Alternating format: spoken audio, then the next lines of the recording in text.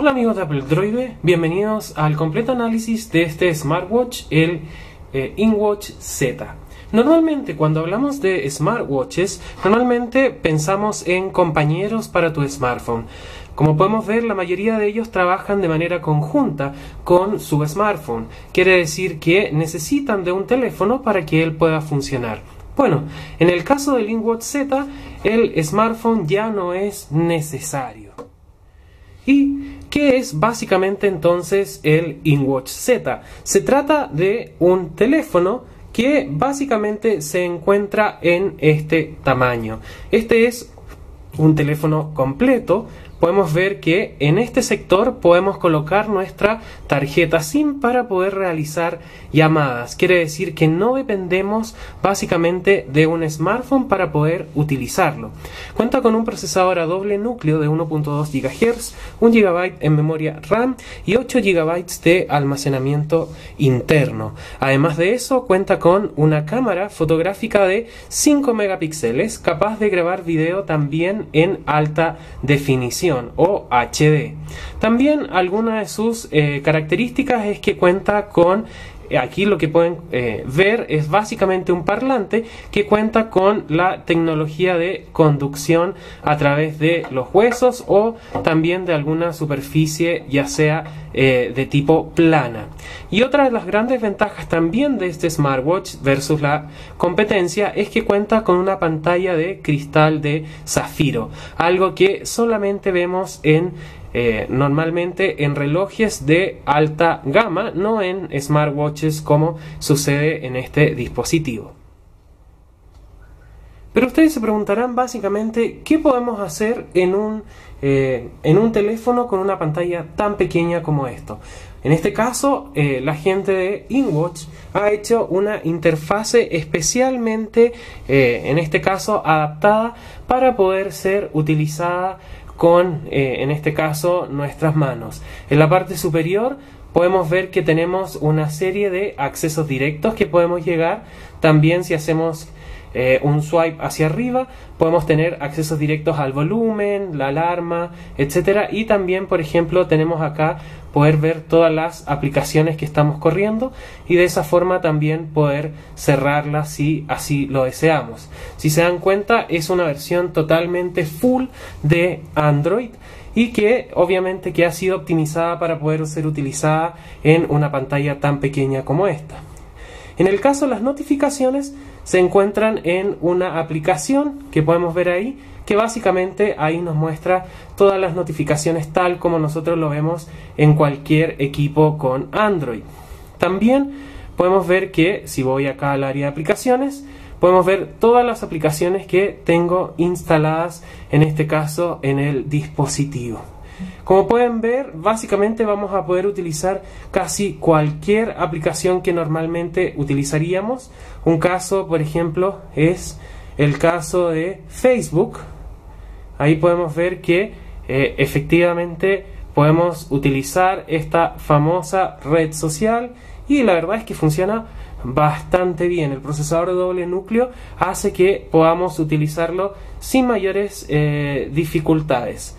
Eh, la verdad es que, eh, pese a ser una pantalla de pequeño tamaño, es posible leer sin mayores dificultades toda la información que eh, nos está mostrando Facebook y podemos ver todas nuestras notificaciones, etcétera. También podemos utilizar aplicaciones como WhatsApp, Messenger, lo que normalmente utilizaríamos en un teléfono inteligente. Bueno, también podemos ver aplicaciones como Twitter, etcétera, las que normalmente nosotros utilizamos en nuestros dispositivos. Eh, también acá, por ejemplo, tenemos el caso de Instagram. Ahí podemos ver que efectivamente también funciona muy bien en el dispositivo. Como pueden ver, es básicamente un equipo con full Android que vamos a poder correr cualquier aplicación que normalmente estamos acostumbrados a utilizar. También cuenta con algunas aplicaciones propias, como es el caso de InSteps, que nos va a medir la cantidad de pasos, de kilómetros y calorías que hemos gastado y que por supuesto puede funcionar eh, en el background mientras estamos utilizando en este caso eh, nuestro dispositivo. Así que bastante bien en ese aspecto. Y Por supuesto, al ser un reloj, una de sus eh, principales características también es que, por supuesto, vamos a poder ver la hora. Eh, esa es nuestra pantalla de desbloqueo, pero si nosotros nos vamos al Clock Team, vamos a ver que existen una serie de diferentes tipos de relojes que vamos a poder utilizar para personalizar en este caso nuestra pantalla de inicio a la hora de utilizarlo como reloj. Otra de las cosas que quizás ustedes se pregunten, bueno, ¿y podremos hacer cosas como jugar en este dispositivo? Bueno, para eso tengo algunos juegos instalados, como es el caso de Doodle Jump, y vamos a ver qué tal funciona en este dispositivo. Vamos a colocar play.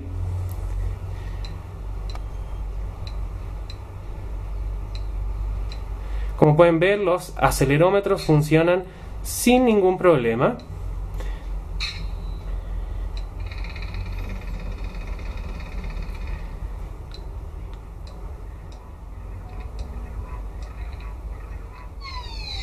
Y ahí podemos ver que efectivamente incluso vamos a poder utilizar este dispositivo para jugar.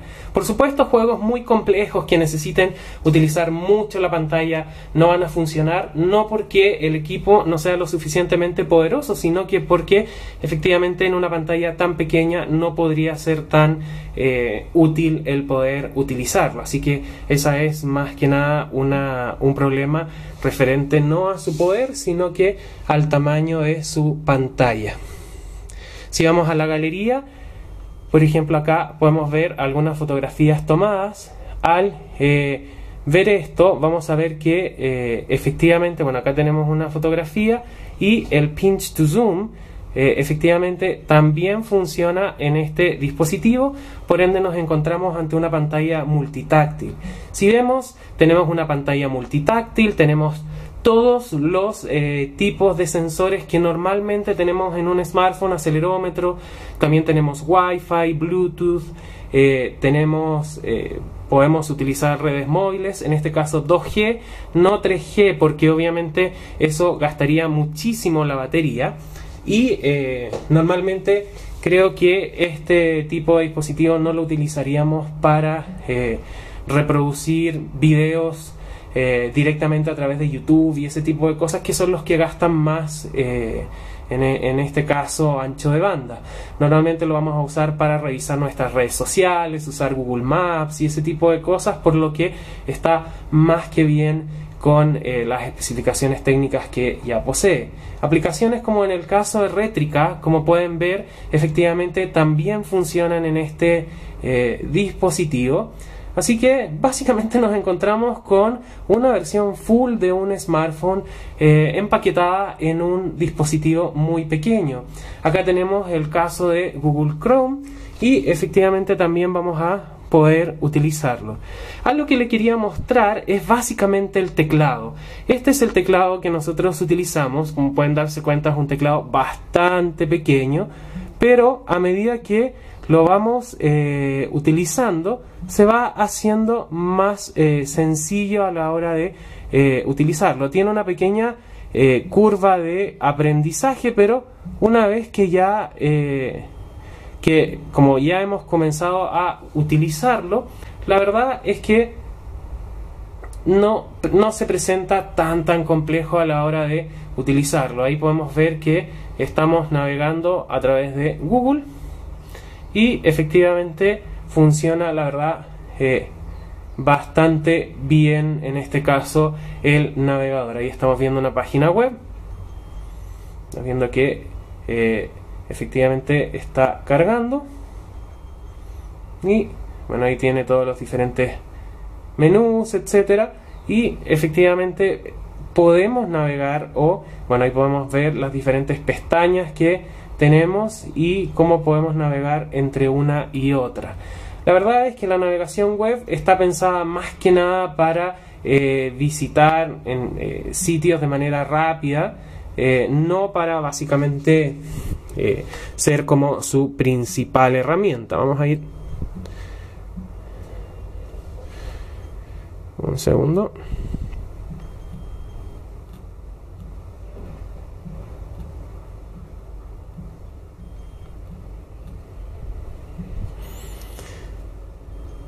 Ahí está. Vamos a entrar a la página de EMOL o el Mercurio Online. Ahí podemos ver efectivamente cómo eh, funciona la navegación web. Ahí podemos ver. Ahí está. Y si se dan cuenta, la verdad es que eh, en este caso el sitio web se adecua al tamaño de mi pantalla y la verdad es que es bastante, bastante óptima la forma de visualizar todo el contenido. Así que si ustedes desean navegar en internet con este dispositivo, la verdad es que funciona, aunque ustedes eh, no lo crean. El utilizar el teclado, bueno, aquí era un poquito más difícil porque estaba mirando con la cámara y eh, a través de la cámara mirando el, el dispositivo. Eh, ¿Cómo fue mi experiencia? El primeros, los primeros dos días fue un poquito compleja, la verdad. Eh, no me podía acostumbrar muy bien a utilizar un teclado tan pequeño, pero una vez que ya me acostumbré, la verdad es que resultó bastante fácil. Eh, ya no tengo mayores complicaciones a la hora de escribir y la verdad es que funciona bastante bien. En cuanto a su cámara, que es de 5 megapíxeles que vemos en la parte superior, que les dije anteriormente que era capaz de grabar video en alta eh, definición, vamos a ver qué tal eh, funciona. Vamos a ir a la aplicación de la cámara. Ahí está. Y esta es la aplicación que tenemos eh, por defecto. Eh, podemos, como dije, grabar videos en alta definición y tomar fotografías de hasta 5 megapíxeles. Acá están las diferentes eh, opciones. Incluso tiene, por ejemplo, efectos de color. Podemos cambiar el modo de, escena, el balance de blancos, la exposición. O sea, tiene una serie de opciones avanzadas que la verdad no esperaría de un dispositivo tan pequeño como este. Incluso tiene opciones como detección de sonrisas, disparo continuo que me permite sacar hasta cuatro fotografías eh, de manera 40 fotografías de manera simultánea. Y también podemos ver el ISO que en este caso se encuentra automático. En el caso del video podemos activar o desactivar el, el micrófono. Tenemos modos de audio ya de reunión normal. También tenemos una serie ahí de opciones para poder utilizar. Así que en ese sentido la cámara la verdad funciona bastante completa. En cuanto a su duración de batería, la verdad es que me ha durado todo un día sin problemas, por supuesto sin tener un uso tan extensivo, debido a que tiene una, batería de un poco más de 350 mAh, pero para un uso moderado y revisar eh, cada cierto tiempo redes sociales, y también para realizar algunas llamadas, la verdad es que funciona bastante bien. Algo que les quiero mostrar también es en cuanto a la música. Miren, vamos a reproducir una canción. Y si se dan cuenta suena bastante bajo, pero miren.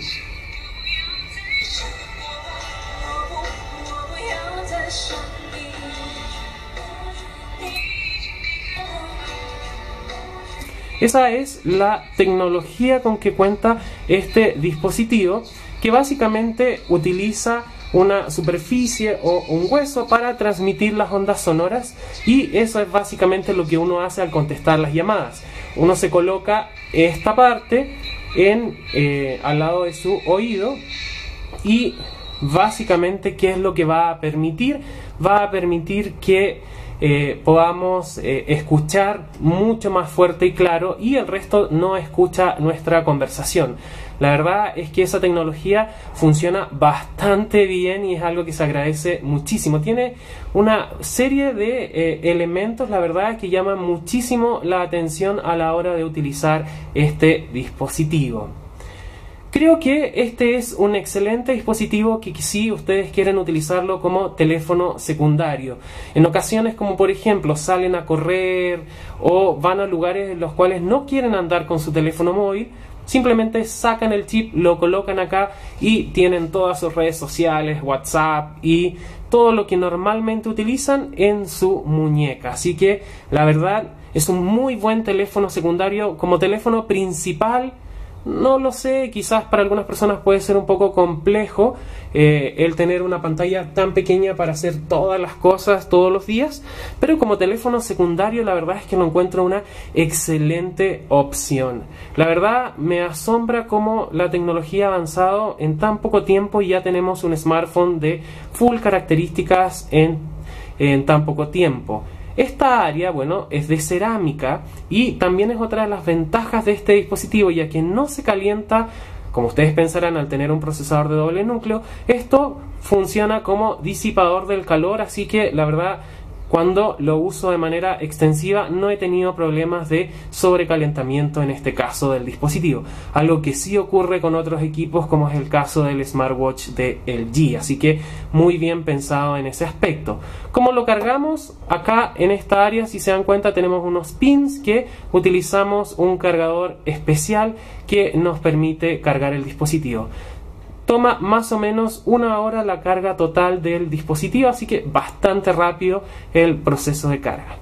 Eh, espero que eh, les haya gustado este completo análisis del InWatch Z, un dispositivo la verdad bastante interesante que por supuesto, eh, como lo dije en un comienzo, nos va a permitir realizar llamadas. O sea, no solo es un dispositivo que funciona en compañía de un smartphone, sino que es todo un smartphone en tu muñeca. Así que una alternativa bastante interesante.